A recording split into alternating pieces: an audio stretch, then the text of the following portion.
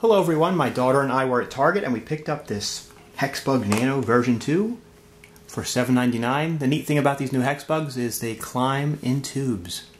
Yeah, pretty much. And it's nice to give you a, it gives you a small tube to test it in here because we didn't want to spend 20 30 $40 for a big tube set. Yeah, once we get, um, once we open up the package, I'll show you um, the differences between that and the old Hexbug. Yeah, try not to mutilate it in case we have to return it. There you.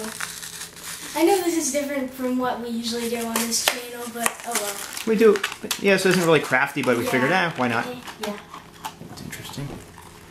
I don't know what this is for. I think it's just to make Oh, it. look at how look easy it was to open. Oh yeah, that's nice. Cool. So I'll put in the tube and show you guys it going up. Cool. So that's basically the only difference. We'll put him on the track And, here and see if he runs around like a normal Hexbug. I think he does, but I'll show you one of my other ones. So basically, um, yeah, they look pretty different. A different shape. Um, is that in frame? I think. Oh, yes. Yeah. You're good. And the, they have three spikes on the top, so they can climb up tubes and stuff. The legs are a bit different. So now, um, just show it going around. Look at that. Wow. A lot of energy. Yeah. That's what a good fresh battery does. Yeah, I'll show you on my first one. It's like super slow. Another thing is crazy. Look at the wow. We, ours, our batteries are kind of running low. Like here's this one. That was the first one I got. we call this one Grandpa. But Yeah. he's so slow. I'm gonna put this guy here, and I'll put this guy behind it. Let's see him climb the tube one more time, and then we'll Yeah. uh, say goodbye to our I'll friends. just leave him there. Hey, Grandpa. Yeah. Yeah. Here. we'll Show put. Oh, yeah. okay. We'll put it in frame for the fine people. Sorry.